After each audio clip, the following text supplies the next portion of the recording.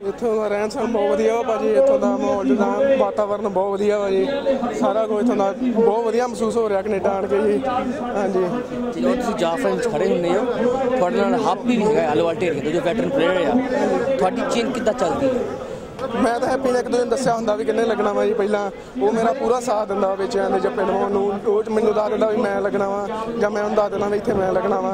ਤੇ ਹੈਪੀ ਮੇਰਾ ਪੂਰਾ ਸਾਥ ਦਿੰਦਾ ਜੱਪੇ ਲਵਾਉਣ ਨੂੰ। ਕੀ ਖੁੱਲੀਆਂ ਮਾਰਦੇ ਆ ਬੱਲਾ ਵੱਡੀਆਂ। ਉਧਰ ਸੈਣੀ ਪਵਾਰ ਜੀ ਪੂਰੀ ਜ਼ਿੰਮੇਵਾਰੀ ਔਰ ਇਧਰ ਵੇਖਦੇ ਆ ਵੀ ਉੱਚਾ ਲੰਮਾ ਕੱਦ ਪਰਮਜੀਤਪੁਰ ਦੇ ਕਾਲੇ ਦਾ ਮੁਕਾਬਲਾ ਸੰਗਤ ਹੈ ਇਸ ਵੇਲੇ ਫੇਰ ਮੇਰੇ ਵੀਰ ਮੁਕਾਬਲਾ ਕਰਦੇ ਫਿਲਮ ਖੁੱਲੀਆਂ ਦੇ ਦਰਮਿਆਨ ਆਇਆ ਲਓ ਜੀ ਕਿੱਥੋਂ ਰੱਖਣਾ ਹੈ ਇਸ ਨੌਜਵਾਨ ਨੂੰ ਕਿ ਜਿੱਥੇ ਵੱਡੇ ਵੱਡੇ ਹੋਏ ਭਲਵਾਨ ਵੀ ਬੜੀ ਉੱਚੀ ਆ ਪੰਜਾਬ ਦੀ ਤਾਂ ਸ਼ਾਨ ਵੀ ਜਿੱਥੇ ਪਹਿਲੀਆਂ ਤਸਵੀਰ ਸ਼ਹਿਨਸ਼ੀਲ ਦਾ ਸਦਾ ਬੰਦੇ ਨੂੰ ਉੱਪਰ ਰੱਖੀਏ ਆਪ ਨੂੰ ਸਦਾ ਜਿੱਤ ਪਾਉਣੀ ਕੰਮ ਕੋਈ ਸੌਖਾ ਨਹੀਂ ਜੇ ਮਨ ਲਾ ਕੇ ਕਰੀਏ ਕੰਮ ਕੋਈ ਵੀ ਔਖਾ ਨਹੀਂ ਕਾਮਾਗਾਟਾ ਮਾਰੂ ਕਬੱਡੀ ਕਲੱਬ ਇਹ ਦੋਨੋਂ ਟੀਮਾਂ ਜਿਹੜੀਆਂ ਇਸ ਮੈਚ ਦੇ ਹਾਫ ਟਾਈਮ ਤੱਕ ਪੁੱਜ ਜਾਣੀਆਂ ਚਾਹੀਦੀਆਂ ਕਾਲਾ ਪਰਮਜੀਤ ਪੁਰੀਆ ਆ ਨੌਜਵਾਨ ਉਧਰ ਜੀ ਪੰਜਾਬ ਸਪੋਰਟਸ ਕਲੱਬ ਹੈ? ਤੁਸੀਂ ਇਹਨਾਂ ਕਿੱਦਾਂ ਰਲੇ ਸੀ?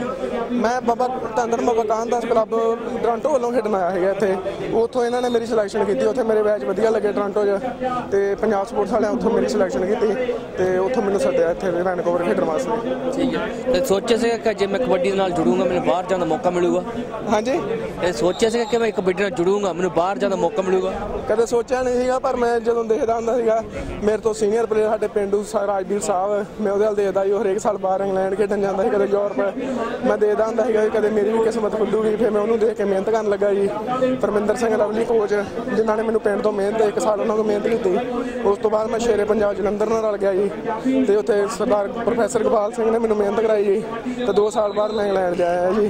ਤੇ ਇਸ ਵਾਰੀ ਮੈਨੂੰ ਕੈਨੇਡਾ ਆਉਣ ਦਾ ਮੌਕਾ ਮਿਲਿਆ।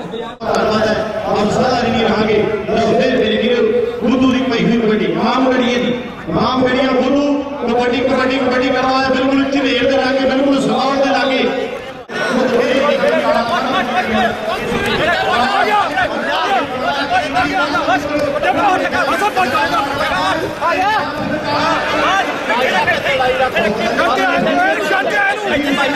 ਇੰਗਲੈਂਡ 'ਚ ਕਿੱਥੇ ਖੇਡੇ ਸੀ ਕਿਹਨਾਂ ਨਾਲ ਖੇਡੇ ਸੀ ਉੱਥੇ? ਮੈਂ ਡਰਬੀ ਕਲੱਬ ਵੱਲੋਂ ਖੇਡਿਆ ਸੀਗਾ ਜੀ।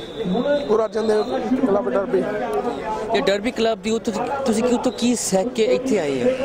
ਉੱਥੇ ਪਤਾ ਲੱਗ ਗਿਆ ਜੀ ਰਹਿਣ ਸਹਿਣ ਜਿੱਦਾਂ ਪਹਿਲੀ ਵਾਰੀ ਬੰਦਾ ਜਾਂਦਾ ਕਈ ਵਾਰੀ ਘਾਹ ਵਾਲੀਆਂ ਗਰਾਊਂਡਾਂ ਹੁੰਦੀਆਂ ਵਾ ਜੀ ਇੱਥੇ ਪੈਰ ਹੀ ਨਹੀਂ ਲੱਗਦੇ। ਉੱਥੇ ਜਾ ਕੇ ਇਹ ਪਤਾ ਲੱਗਾ ਵੀ ਘਾਹ ਤੇ ਖੇਡਣਾ ਕਿੱਦਾਂ ਵਾ ਸਾਰੇ ਪ੍ਰੈਕਟਿਸ ਕਿੱਦਾਂ ਹੋਣੀਆਂ। ਉੱਥੇ ਜਾ ਕੇ ਇਹ ਸਾਰਾ ਕੁਝ ਪਤਾ ਲੱਗ ਗਿਆ ਜੀ ਕਿੱਦਾਂ ਖੇਡਣਾ ਘਾਹ ਵਾਲੀਆਂ ਗਰਾਊਂਡਾਂ ਦੇ ਜੀ ਕਾਫੀ ਖੁਸ਼ ਆ ਆਪਣੀ ਟੀਮ ਦੇ ਪ੍ਰਦਰਸ਼ਨ ਦੇ ਨਾਲ ਸੋ ਫar ਉਹ ਮੈਂ ਬਹੁਤ ਖੁਸ਼ ਹਾਂ ਜੀ।